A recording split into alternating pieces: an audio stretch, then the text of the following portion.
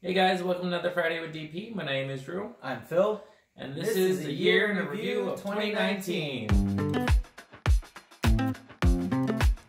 We have lots of travels, lots of boating, but also lots of visits to the House of Mouse, where we started off the year at Hollywood Studios, where we tried the sci fi dine in while on keto.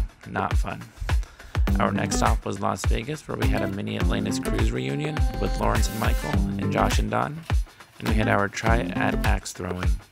Then back to Epcot for a little Disney fun and Japanese food at Teppan Edo. We took the boat out onto Lake Butler in Windermere with a few friends, and spent a staycation for Philip's birthday at the World Center Marriott and had dinner at California Grill at the Contemporary Hotel. My first time deep sea fishing was here off New Smyrna Beach with Philip's family.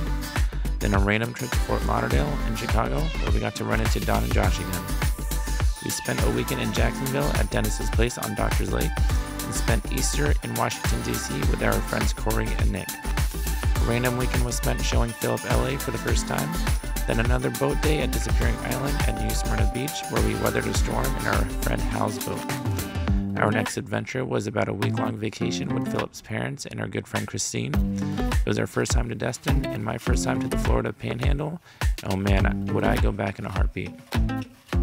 Another weekend was spent again in Washington, D.C. for Pride with Corey and Nick. Then a Lake Conway day with our friends Tori and Jorge.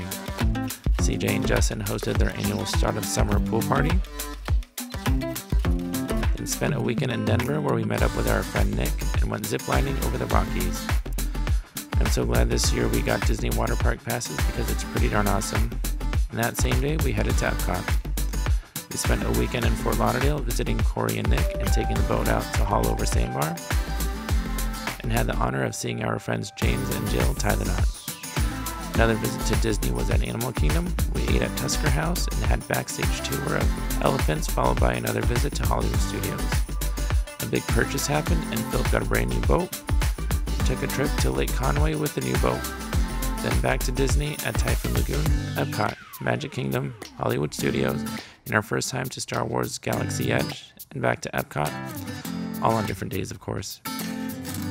We did the Winter Park boat tour, and we saw Rhett Akins, Russell Dickerson, Dustin Lynch, and Thomas Rhett in concert.